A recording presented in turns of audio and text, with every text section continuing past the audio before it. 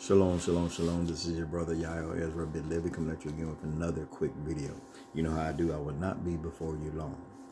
I will be coming out of the book of Deuteronomy, chapter 13. I will only read two verses, verses 3 and 4. I will be doing this reading out of the King James Version of the Bible. First of all, let me give praise, honor, and glory to the Holy One of Israel, the God of our fathers, Abraham, Yitzchak, and Yaakov. I pray that he will open our heart unto the reading and hearing of his word, that we may find ourselves walking in obedience to him and only him. May he open our eyes that we may behold the beauty of his Torah. Hallelujah. Deuteronomy chapter 13, verse 3. Thou shalt not hearken unto the words of that prophet or that dreamer of dreams, for Jehovah your God proveth you, to know whether ye love Jehovah your God with all your heart and with all your soul. Here the word proveth means he is testing you. Jehovah is constantly testing his people to see if we love him or not. Now look on how he gauges our love. Look at the parameters. Look at the standard of our love for him. Verse 4. Ye shall walk after Jehovah your God and fear him and keep his commandments and obey his voice and ye shall serve him and cleave unto him. Hallelujah. To show forth our love to Jehovah, we are to obey him. We are to obey his laws, statutes, and commandments. Do that mean we obey all 613? No, because all 613 commandments is not for one individual to keep.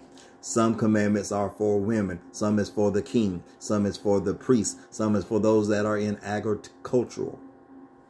So, no, all 613 commandments is not for one person to keep. And know if you break one commandment, you are not guilty of breaking all 613 commandments. That did not come from God. So once again, I want you to see what Yahweh requires of us and what he says reveals to him that we love him. He didn't say anything about that we put our faith in the Son of God. He didn't say anything about if we open our hearts and ask the Son of God to come into our hearts. He don't say anything about if we plead the blood of the Lamb of God. He does not say any of that. But this is what he does say, and I will read it again. Jehovah is proving us to see if we love him. Listen to these two verses again.